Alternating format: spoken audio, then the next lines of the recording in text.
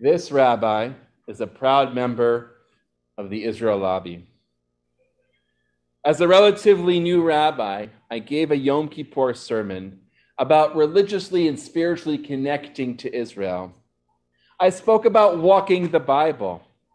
According to tradition, the rock on the Temple Mount, called the Even Shtiyah, is the foundation stone where God began to create the world. So, looking at the Temple Mount, we think of creation as well. I spoke about Sipori, Sepphoris, in the Galilee, where people now dress up as the rabbis of the Mishnah and teach us how the Mishnah came about. I encourage people to walk about where the dunes and swamps used to be that were drained and cleared by the Chalutzim, the, the pioneers, to build the land of Israel. I boasted about going to Israel as a unique and most holy religious experience. All of that was and is true. But I stopped my sermon there out of fear. I was afraid of the P word, politics.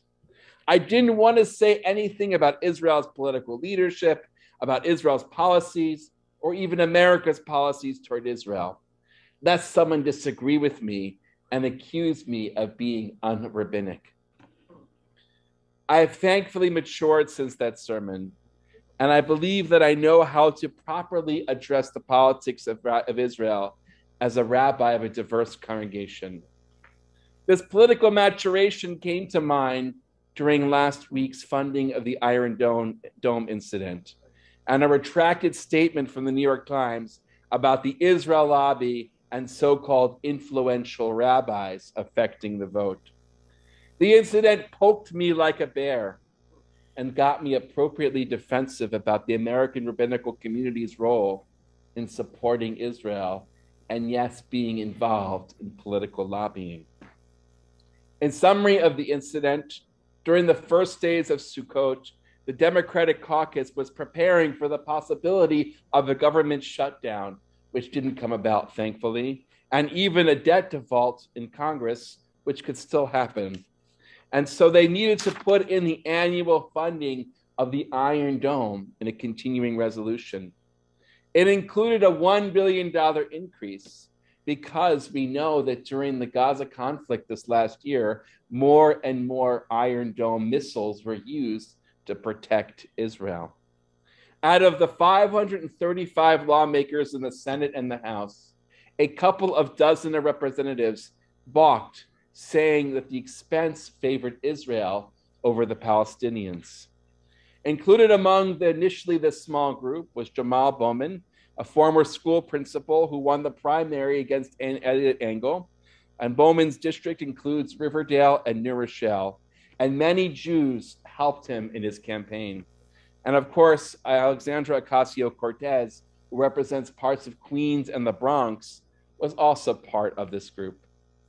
The continuing resolution actually failed as part of the politics funding the government. So the Iron Dome was put to a vote the next day as a separate bill. It passed virtually unanimously amongst the 535 senators and representatives. Bowman voted yes. AOC famously abstained and then began to cry over her abstention. AOC is part of the so called squad of liberal representatives, including Ilhan Omar of Minnesota. She is a Somali Muslim who says that she supports the Palestinian cause. Her so called support, and I call it that in my opinion, involves the outright vilification of the state of Israel without acknowledging any complicated nuance of the last 50 years of the Arab Israeli conflict. To add to the flames, the New York Times reported that AOC's abstention was the result of the powerful Israeli lobby and the influential rabbis who vote Democratic. The Times retracted the rabbi comment, but kept the lobby piece. The Times is not wrong, even if its tone is horrible and liable to lead to anti Semitism. K Street and the lobbying get is a bad rap because of the amount of money involved and how sometimes it looks like bribery.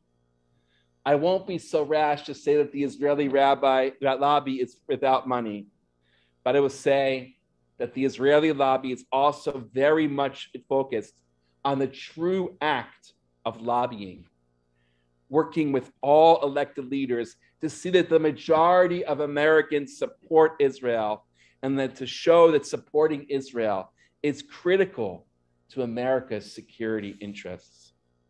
Because the Israel lobby has facts on its side, it's been successful. And why are rabbis involved? Because the Israel that the Jewish people need, the one that I said go and have a spiritual experience, is a political entity. It's Medinat Yisrael, the state of Israel, born and recognized by the United Nations.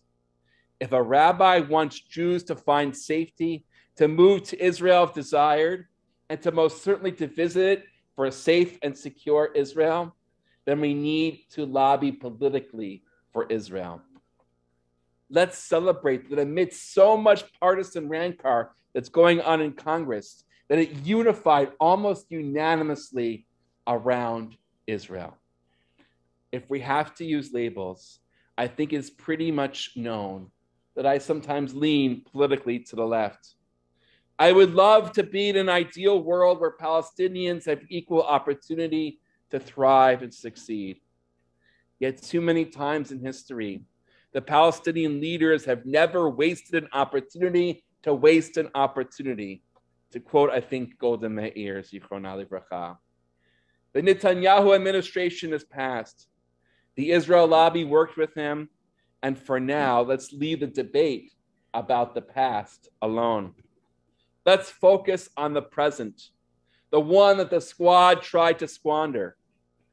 Prime Minister Bennett's government has Arabs in its cabinets, and there is a fury of work being done to markedly improve the lives of Palestinians in Israel and the West Bank.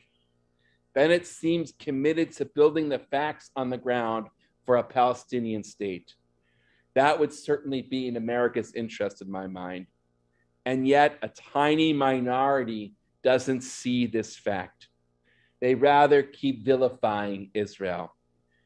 Last week's Iron Dome incident should be a wake up call to never take support for Israel for granted. Let us pledge to continue this most important relationship building with elected officials from any party. It would not hurt after Shabbat to write to Congress member Suozzi, to Senators Schumers and Gillibrand, thanking them for their support. Every time we write to them, they know that we are lobbying for Israel. So, to conclude, I am a rabbi who is proud to lobby the elected leaders of all parties on how a strong relationship with Israel is good for America, good for Israel, and good for the spirituality of the Jewish community. Shabbat Shalom.